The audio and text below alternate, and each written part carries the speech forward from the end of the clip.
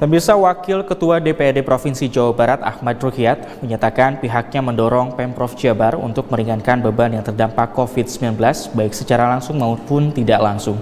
Tidak hanya mendorong, DPRD Jabar pun akan melakukan pengawasan terkait penanganan COVID-19 tersebut.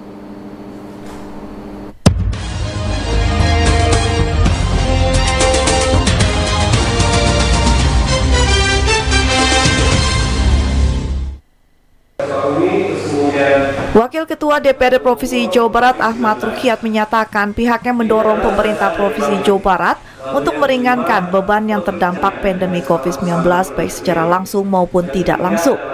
Hal tersebut disampaikan Rukiat usai mengikuti rapat koordinasi pimpinan DPRD dengan stakeholder terkait melakukan pembahasan teknis pelaksanaan instruksi Presiden atau Impres nomor 4 tahun 2020 tentang refocusing kegiatan, realokasi anggaran, serta pengadaan barang dan jasa dalam rangka percepatan penanganan coronavirus disease 19 atau COVID-19.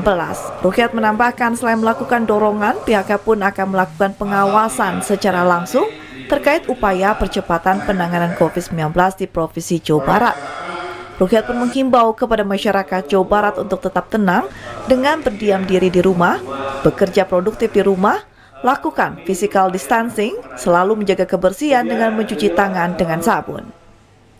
Dan sesuai dengan arahan pemerintah pusat, kita mengikuti uh, untuk refocusing uh, kegiatan-kegiatan uh, agar digeser kepada penanganan uh, pencegahan pandemi uh, COVID-19 sesuai dengan protokol uh, pencegahan pandemi COVID 2019 agar masyarakat tetap tenang, uh, diam di rumah, bekerja produktif di rumah, kemudian physical distancing, menjaga jarak, dan juga rajin uh, mencuci tangan.